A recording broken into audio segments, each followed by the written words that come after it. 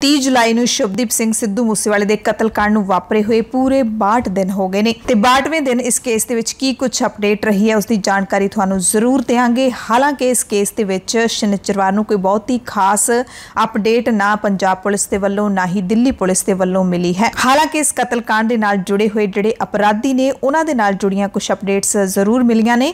Delhi police ਨੇ ਪੰਜਾਬੀ ਨੌਜਵਾਨ ਗਾਇਕ ਸਿੱਧੂ ਮੂਸੇਵਾਲੇ ਕਤਲकांड ਤੋਂ ਬਾਅਦ ਸਭ ਤੋਂ ਵੱਧ ਚਰਚਾ ਵਿੱਚ ਰਹੇ gang gangster Lawrence Bishnoi Goldy Brar Sachin Brar ਤੇ ਦੀਪਕ ਮੁੰਡੀ ਦੇ ਉੱਤੇ ਕਾਨੂੰਨੀ ਸ਼ਿਕੰਜਾ ਹੋਰ ਕੱਸ ਦਿੱਤਾ ਹੈ। ਦਿੱਲੀ ਪੁਲਿਸ ਦੇ ਸਪੈਸ਼ਲ ਸੈੱਲ ਨੇ ਪਟਿਆਲਾ ਹਾਊਸ ਕੋਰਟ ਵਿੱਚ ਬਿਸ਼ਨੋਈ ਤੇ ਉਸਦੇ ਗਰੋਹ ਦੇ 10 ਸ਼ੂਟਰਾਂ ਦੇ ਖਿਲਾਫ ਚਾਰਜ ਸ਼ੀਟ ਦਾਇਰ ਕੀਤੀ ਹੈ। ਪੁਲਿਸ ਨੇ ਚਾਰਜ ਸ਼ੀਟ ਦਿੱਲੀ ਦੇ ਮੋਨ ਗਾਰਡਨ ਇਲਾਕੇ ਦੇ ਇੱਕ ਰੀਅਲ ਅਸਟੇਟ ਕਾਰੋਬਾਰੀ ਦੇ ਕਤਲ ਦੀ ਸਾਜ਼ਿਸ਼ ਦੇ ਨਾਲ-ਨਾਲ ਉਸ ਤੋਂ 1 ਕਰੋੜ ਦੀ ਪ੍ਰੋਟੈਕਸ਼ਨ ਮਨੀ ਦੀ ਮੰਗ ਕਰਨ ਦੀਆਂ ਗੰਭੀਰ ਧਾਰਾਵਾਂ ਦੇ ਤਹਿਤ ਦਾਇਰ ਕੀਤੀ ਹੈ। ਸਪੈਸ਼ਲ ਸੈੱਲ ਦੇ ਏਸੀਪੀ ਲਲਿਤ ਮੋਹਨ ਨੇਗੀ ਤੇ ਹੋਰ ਅਧਿਕਾਰੀਆਂ ਨੇ ਦੱਸਿਆ ਕਿ ਗੋਲਡੀ ਬਰਾਡ ਲਾਰੈਂਸ ਬਿਸ਼ਨੋਈ ਤੇ ਸਚਿਨ ਬਿਸ਼ਨੋਈ ਦੇ ਆਪਰੇਟਰਾਂ ਦੇ ਵੱਲੋਂ 30 ਮਾਰਚ 2021 ਨੂੰ ਮੋਨ ਗਾਰਡਨ ਇਲਾਕੇ ਵਿੱਚ ਇੱਕ ਕਾਰੋਬਾਰੀ ਦੇ ਦਫ਼ਤਰ 'ਚ ਗੋਲੀਬਾਰੀ ਕੀਤੀ ਗਈ ਸੀ। ਇਸ ਗੋਲੀਬਾਰੀ ਵਿੱਚ ਵਪਾਰੀ ਦੀਆਂ ਦੋਵੇਂ ਲੱਤਾਂ ਵਿੱਚ ਗੋਲੀਆਂ ਲੱਗੀਆਂ ਸਨ। ਇਸ ਮਾਮਲੇ ਦੇ ਵਿੱਚ ਦਿੱਲੀ ਪੁਲਿਸ ਦੇ ਸਪੈਸ਼ਲ ਸੈੱਲ ਨੇ ਰਾਜਸਥਾਨ ਦੇ ਹਨੂਮਾਨਗੜ੍ਹ ਤੇ ਸ਼੍ਰੀ ਗੰਗਾਨਗਰ ਤੋਂ ਪੰਜ ਸ਼ੂਟਰਾਂ ਨੂੰ ਗ੍ਰਿਫਤਾਰ ਕੀਤਾ ਸੀ।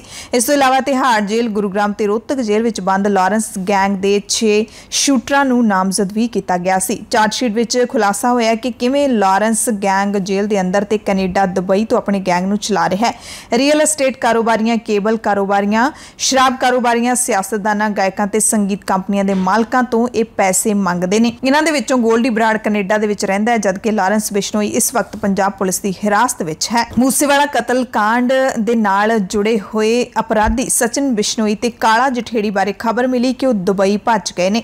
ਮੂਸੇਵਾਲਾ ਕਤਲ ਕਾਂਡ ਵਿੱਚ ਲਾਰੈਂਸ ਗੈਂਗ ਦਾ ਸ਼ੂਟਰ ਦੀਪਕ ਮੁੰਡੀ ਹਾਲੇ ਤੱਕ ਫਰਾਰ ਹੈ। ਹਾਲਾਂਕਿ ਪੁਲਿਸ ਲਗਾਤਾਰ ਇਹ ਕਹਿੰਦੀ ਆ ਰਹੀ ਹੈ ਮੰਨੂ ਅਤੇ ਰੂਪਾ ਦੇ ਜਿਹੜੇ ਜਿਹੜਾ ਐਨਕਾਊਂਟਰ ਕੀਤਾ ਸੀ ਉਸ ਤੋਂ ਬਾਅਦ ਲਗਾਤਾਰ ਪੁਲਿਸ ਇਹੀ ਕਹਿ ਰਹੀ ਹੈ ਕਿ ਦੀਪਕ ਮੁੰਡੀ ਤੱਕ ਪੁਲਿਸ ਦੇ ਹੱਥ ਪਹੁੰਚਣੀ ਵਾਲੇ ਨੇ।